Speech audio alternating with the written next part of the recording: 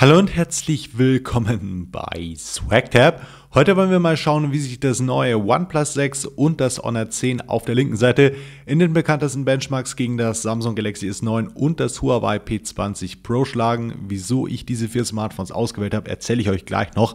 Vorab aber erstmal das übliche, ich habe alle vier neu hochgefahren und wir haben natürlich keinerlei laufende Apps. Zeige ich euch einmal hier beim OnePlus 6, einmal beim Honor 10. Dann natürlich auch noch beim Galaxy S9 und zu guter Letzt auch noch beim Huawei P20 Pro. Und am Ende werden wir wie immer noch die Wärmeentwicklung messen, also mal schauen, wie warm die Smartphones denn so geworden sind. Ich habe alle vier Geräte auf 100% Displayhelligkeit, sodass ihr das auch ganz gut miteinander vergleichen könnt. Entschuldigt hier die Reflexion beim OnePlus 6, das liegt einfach daran, äh, dass es hier ganz links liegt und mein Licht drüber ist. Lässt sich leider nicht vermeiden, wenn ich hier vier Smartphones nebeneinander habe. Ja, ich würde sagen, wir starten mit dem Geekbench 4 Benchmark, ist ja am immer noch, immer noch einer der bekanntesten Benchmarks überhaupt. Ich habe ihn hier sowohl auf dem Honor 10 als auch auf dem äh, OnePlus 6 noch überhaupt nicht durchlaufen lassen. Ich mache hier jetzt nicht Vollbildanzeige, das schreiben mir ja immer so manche Helden. Das ändert überhaupt nichts am finalen Wert. Da geht es nur darum, wie das Ganze aussieht. Jetzt könnte ich hier mal ganz gut die Weißwerte miteinander vergleichen, wobei ich schon sehe, die Kamera fängt das gerade wieder nicht so wirklich richtig ein, aber egal. Wir klicken gleich mal auf Run CPU Benchmark. Der Geekbench 4 Benchmark dauert ja mittlerweile eh lange genug. Ich spreche mal kurz über die verbauten Prozessoren. Wir haben hier beim OnePlus 6 nämlich den Qualcomm Snapdragon 835 Octa-Core-Prozessor. Dazu, ach, 845 habe ich eben 35 gesagt. Ich meine natürlich den Snapdragon 845. 8 GB RAM und dann hier beim äh, Huawei P20 Pro und beim Honor 10 den gleichen Prozessor, den High Silicon Kirin 970, ebenfalls Octa-Core. Hier 4 GB RAM, hier 6 GB RAM. Ich hätte hier jetzt natürlich gerne das Huawei P20 statt dem P20 Pro mitgenommen. Das habe ich aber leider immer noch nicht hier. Und wie gesagt, da die beiden ja den gleichen Prozessor haben, auch wenn der Preisunterschied riesig ist, sie haben den gleichen Prozessor und das ist für dieses Video hier am wichtigsten. Insofern finde ich den Vergleich doch gerechtfertigt.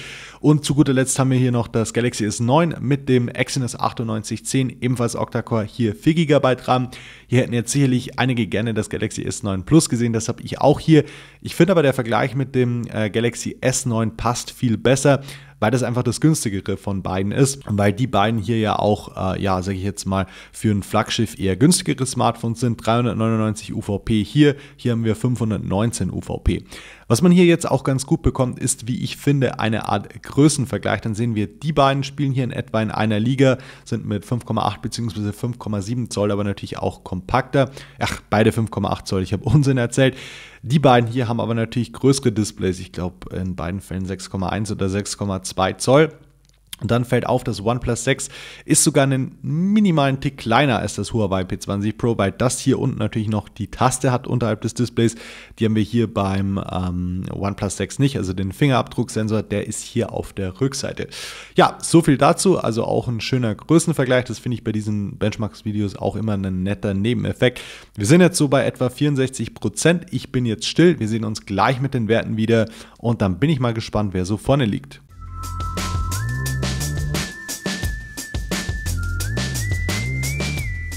Ihr habt es hoffentlich gesehen, sowohl das OnePlus 6 als auch das Galaxy S9 waren doch einen Tick schneller fertig als die beiden Smartphones mit dem High Silicon Prozessor. Bei den Werten sehen wir jetzt hier beim OnePlus 6 was ganz ähnliches, wie wir es auch schon beim Xperia XZ2 gesehen haben. Im Single-Core-Score ist der Snapdragon 845 gar nicht so stark, aber natürlich immer noch eine ganze Ecke stärker als der Kirin 970. Dann im Multicore-Score punktet er aber natürlich ziemlich stark, auch im Vergleich zum, zum Exynos 9810. Äh, also wie gesagt, hier bekanntes Bild. Der High Silicon Kirin kann hier nicht wirklich mithalten, aber die beiden hier, obwohl der Preisunterschied riesig ist, was die reine Prozessor-Power angeht, natürlich sehr, sehr nah beieinander.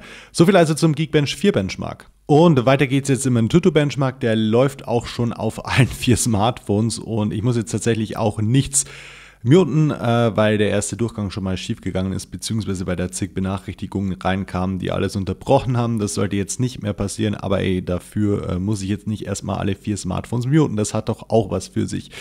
Äh, ja, jetzt läuft hier überall schon der Antutu Benchmark. Ihr seht auch, die Notch wurde bei allen äh, drei Smartphones ausgeblendet. Das Galaxy S9 hat ja keine, also hier sehr ganz nett.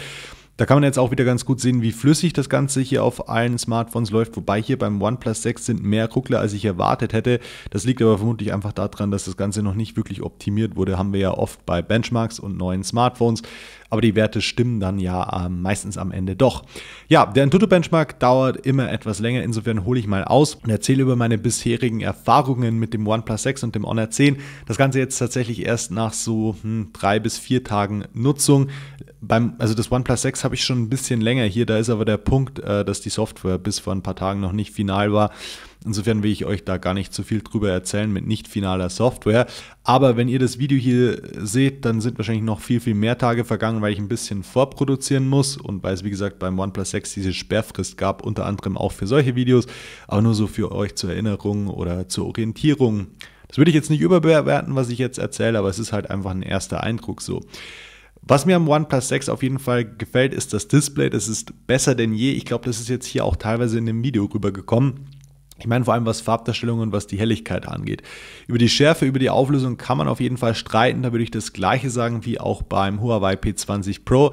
Hätte ich gerne so eine hohe Auflösung gesehen wie eben beim Galaxy S9 bzw. S9 Plus. Hier jetzt beim äh, Honor 10 fällt das nicht so stark auf, weil das Display kleiner ist um weil wir keine Pental-Matrix haben, sondern eine RGB-Matrix. Aber ansonsten macht das Display einen guten ersten Eindruck. Ich mag das neue Design auch unglaublich gerne mit den schönen dünnen Displayrändern, die nochmal dünner sind als jetzt zum Beispiel hier beim Huawei P20 Pro, haben wir ja eben schon besprochen. Gefällt mir super gut, auch mit der Glasrückseite und so weiter. Es liegt gut in der Hand, also das mag ich wirklich. Mir persönlich ist es wieder ein Tick zu groß, aber das Spiel kennt ihr ja schon und die Performance ist wirklich top. Also was ich da bisher so sagen kann, einfach top. Wie immer beim, bei OnePlus. Also die Performance, das können sie einfach. Ich muss mir jetzt auf jeden Fall die Kamera noch genauer anschauen. Wie gesagt, da ist erst seit ein paar Tagen jetzt die Software final. Alles, was vorher getestet wurde, würde ich nicht überbewerten. Lustigerweise auch bei den ganzen Ami-Testberichten, die jetzt wahrscheinlich schon online sind, wenn ihr das Video hier seht, da wurde wahrscheinlich viel noch mit der nicht mal finalen Software aufgenommen, aber da meinten einige schon zu mir, die Kamera ist sehr vielversprechend. Mal schauen, wie das dann jetzt eben so in den nächsten Tagen bei mir sein wird. Und auch den Akku muss ich mir noch genauer anschauen. Ähm, das sind zwei so wichtige Dinge. Vorher möchte ich auf jeden Fall keinen Test veröffentlichen. Was mich ein bisschen stört, wenn ich so in der Hand habe, bisher ist der Fingerabdrucksensor, der ist auf der Rückseite und eigentlich auch gut platziert, aber er, ich finde, er ist einfach nicht so stark haptisch abgehoben, wie er es sein sollte. Optisch auch nicht wirklich. Also wisst ihr, was ich meine? Ich äh, erwische jetzt nicht die Kamera, weil die ist abgehoben, aber so, ich habe oft Probleme, den Fingerabdrucksensor gleich zu finden. Da habe ich jetzt die letzten Tage bemerkt, dass es besser geworden ist, weil man sich natürlich dran gewöhnt. Aber ey, ich weiß nicht, was momentan jeder so mit dem Fingerabdrucksensor hat. Hier beim Honor 10 ist es noch schlimmer. Die bewerben ja sogar erster Fingerabdrucksensor unter Glas bei einem Smartphone, also bei einem bezahlbaren Smartphone unter 500 Euro. Aber ey, das Ding, als ich den eingerichtet habe, ich habe fast einen Anfall bekommen. Das haben ja, glaube ich, auch viele Kollegen schon erzählt, aber es dauert viel, viel länger, diesen Under-Glas-Fingerabdrucksensor da so einzurichten und bisher kann ich auch keinen großen Vorteil erkennen. Er ist jetzt, wo was die Alltagsperformance angeht, in Ordnung, aber also äh, so ein normaler Fingerabdrucksensor wie jetzt hier beim P20 Pro, der ist deutlich schneller einfach. Mal schauen, wie sich das in den nächsten Tagen noch so gibt. Äh, vielleicht ja, haben wir ja auch eine gewisse Lernkurve. Ich bezweifle es aber ehrlich gesagt, aber das werde ich euch dann auch im Honor 10 Review wissen lassen. Äh, was mir beim Honor 10 auch wieder sehr gut gefällt, ist das Design hier mit den schönen dünnen Displayrändern, der Glasrückseite, dem Metallrahmen. Es liegt super gut in der Hand, noch besser als hier das OnePlus 6. Also das gefällt mir richtig gut. Ich muss mir aber auch hier noch die Kamera genauer anschauen, weil wie gesagt, daran wird es hängen, wenn das Ding für 400 Euro eine einigermaßen gute Kamera hat. Und so viel kann ich schon mal sagen, also für 400 Euro ist die Kamera auf jeden Fall ordentlich. Aber Huawei, also was die Kamera angeht, ist natürlich jetzt die Messlatte bei Huawei auch brutal hoch. Mal schauen, ob das Honor 10 da mithalten kann. Soviel zu meinen ersten Eindrücken. Reviews zu beiden Smartphones folgen dann auf jeden Fall in den nächsten Tagen. Erster Eindruck ist aber von beiden auf jeden Fall ziemlich positiv. Jetzt haben wir noch so 25% to go. Ich bin still, spul nochmal vor und wir sehen uns dann gleich mit den Werten wieder.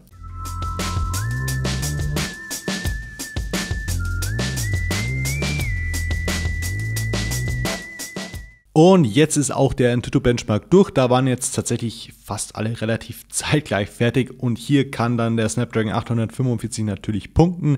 267.961 ist sogar etwas mehr als die 251.712 beim Galaxy S9.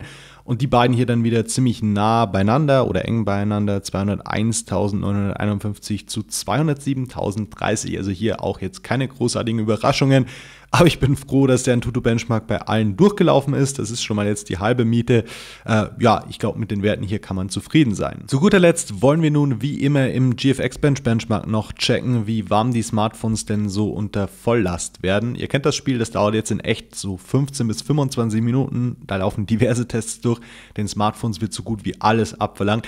Ich hoffe, hoffe, hoffe, dass beim OnePlus 6 jetzt alles hier einigermaßen problemlos durchläuft, einfach weil das beim Xperia XZ2, das ja den gleichen Prozessor hat, nicht der Fall war. Da waren einfach einige Tests noch nicht angepasst und dann war, glaube ich, so nach einmal nach zwei, einmal nach acht Minuten und so weiter Schluss. Aber ich werde das einfach im Auge behalten.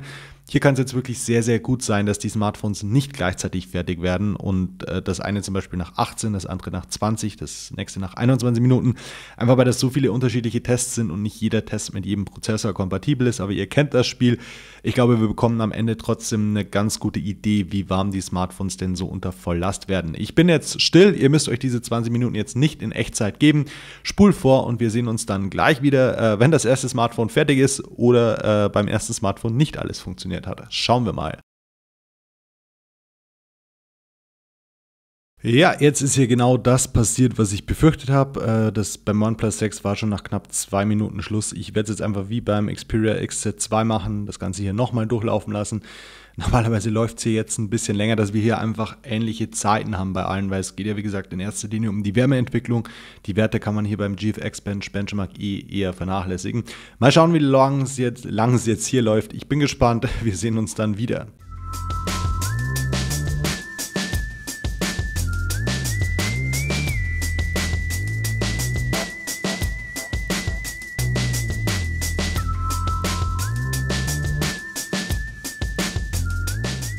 Das ist jetzt mal sehr interessant. Jetzt nach etwa 13 Minuten kommt hier beim Honor 10 die Meldung, die Temperatur liegt über der Betriebstemperatur des Telefons. Der Funktionsumfang ist eingeschränkt und der Benchmark ist jetzt hier auch beendet worden oder ab. Wow, okay.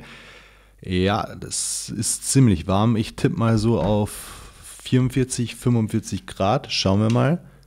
Ja, habe ich gut getippt. Also, wow, 50. Junge, Junge, Junge, 50 Grad. Das ist quasi hier der Bereich, wo der Prozessor drin sein dürfte, denke ich mal. Und dann unten wird es natürlich 50 Grad. Das, äh, ja, ich weiß jetzt nicht, was ich davon halten soll. Das freut mich gerade sogar leicht, weil das hatten wir hier noch nie. Ich nehme das jetzt mal in die Hand, ohne mich hier irgendwie äh, zu verbrennen. Und ich kann euch sagen, ja, ja, okay. Also hier oben ist es schon echt ziemlich, ziemlich heiß. Das ist krass. Also das, ähm, hatten wir tatsächlich noch nie hier bei so einem Benchmark-Video. Ähm, ja, mal schauen so, äh, wie das jetzt bei den anderen läuft. Ich denke, das OnePlus 6 wird nicht ganz durchlaufen. Das wird jetzt auch gleich irgendwann mal hier fertig sein oder beziehungsweise abstürzen. Ich bin echt gespannt, wie warm das so sein wird. Hier beim P20 Pro haben wir ja schon gesehen. Ich glaube, das war so 44 Grad mit dem gleichen Prozessor. Aber Honor hatte ja schon immer, das muss man sagen, egal ob beim Honor 9 oder beim Honor 8. Also ich will jetzt nicht sagen Hitzeprobleme, aber die Geräte wurden schon ziemlich warm. Und jetzt hier 50 Grad, also man kann es noch in der Hand halten. Aber das ist schon nicht ohne. Ja, mal schauen, wie sich die anderen so schlagen. Ich spule wieder weiter vor.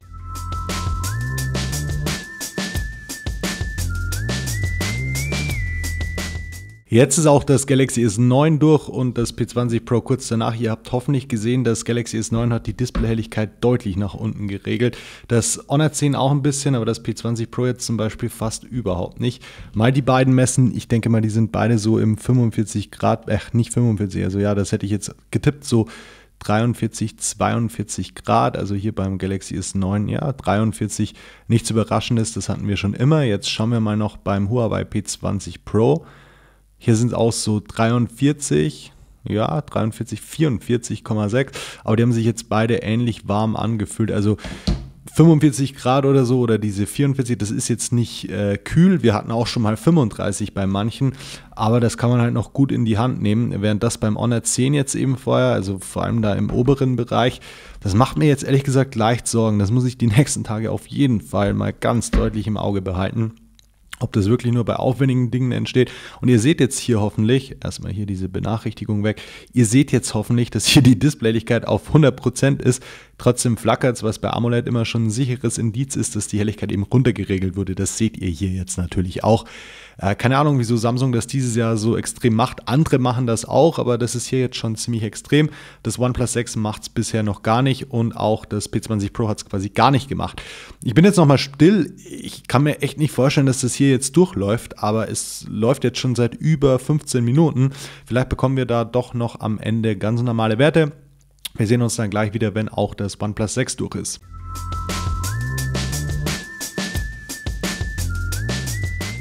Und jetzt ist auch das OnePlus 6 fertig. Ich glaube, es hat nicht alle Tests geschafft, so aber zumindest einige. Und das, ja, würde ich jetzt mal sagen, ist so im etwa im Bereich vom Galaxy S9, was die Wärmeentwicklung. Und jetzt haben wir hier vor allem auch einen vernünftigen Wert, weil es hier auch einfach deutlich länger durchlief als noch vorher nach zwei Minuten.